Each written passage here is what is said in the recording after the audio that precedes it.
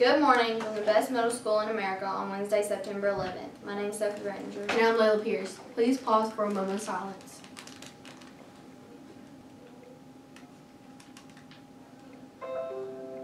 Please stand for the pledge. Attention, salute, pledge. I pledge allegiance to the flag of the United States of America and to the republic for which it stands, one nation, under God, indivisible, with liberty and justice for all. Please remain standing as we say our roar student pledge. I'm a Mount Pleasant Tiger. Today I will roar. Be ready, on task, act responsibly, and show respect. You may now be seated. Announcements for today.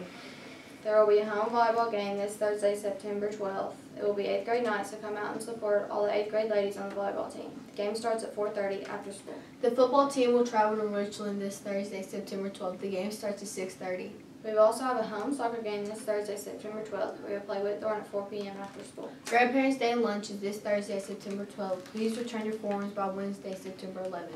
Wednesday, September 18th, we will have an afternoon movie. The movie will be shown in the auditorium from 3 to 5 p.m. Tickets are $5 per student. This month's movie is Coco. The MPMS VPA Fun Fair has been rescheduled for October 1st. Admission to the Fun Fair is $20. The Fun Fair will have many fun activities for students to enjoy. Students will receive admission to the football game, two slices of pizza, and a drink. Eighth grade students will be allowed to participate in a special powder paint war prior to the football game. FCA has meetings every Wednesday from 7:15 to 7:30 in room 409. The weather for MPMS VPA today is a high of 93 degrees with a nighttime low temp of 70 degrees. College of the Day, Bowling Green State University. Freshman average ACT score is 19. Tuition is 18593 per, per year. Located in Bowling Green, Ohio. STEAM Job of the Week is a web designer. The average salary for a web designer is $50,000 per year.